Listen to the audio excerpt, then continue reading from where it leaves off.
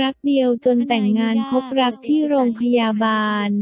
บีมออยรักต้องซ่อนสิบปีลูกแฝดฮอตแรงนักร้องหนุ่มรักเดียวรักที่ซ่อนสิบปีวันนี้ลูกแฝดฮอตแรงบีมกวีพร้อมสาวออยภรรยาเปิดบ้านหลังใหญ่เผยความรักและชีวิตครอบครัวในรายการตีท้ายครัวรักเดียวของบีม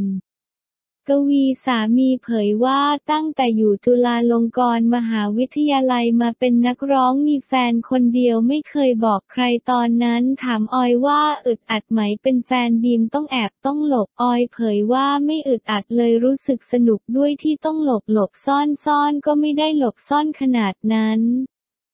พี่น้องครอบครัวเรารู้พ่อแม่รับรู้ทั้งสองฝ่าย แต่ไม่ได้บอกเพื่อนมีรหัสเรียกชื่อออยเรียกบีมว่าพี่ขิงก็แอบอยู่เกือบสิบปี จนมีช่วงปาปารัสซี่ถ่ายรูปเผยพบกันครั้งแรกที่โรงพยาบาลสัตว์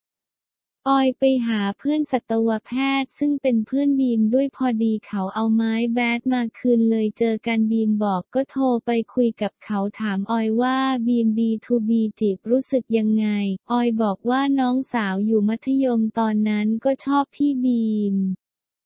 อรู้ก็ช่วยกันเก็บความลับ แต่พ่อก็จะบอกดาราอะไรแบบนี้เมื่อถามบีมฮอตมากตอนนั้นสาวๆก็เข้าหามีไปกุ๊กกิ๊กอะไรกับใครไหมรอดมาได้อย่างไร บีมเผยว่า จริงๆ มันก็มีบ้างแต่สุดท้ายแล้วเราอยู่กับคนนี้แล้วมีความสุขมากที่สุด ตอนนี้มีทายาทแฝดน้องที่น้องพี่กว่าจะได้ลูกมาไม่ใช่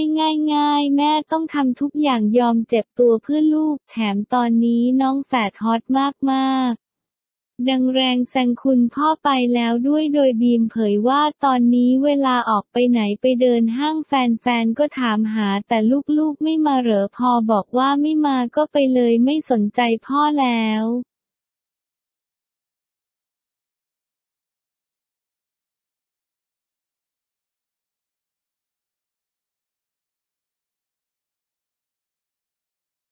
Thank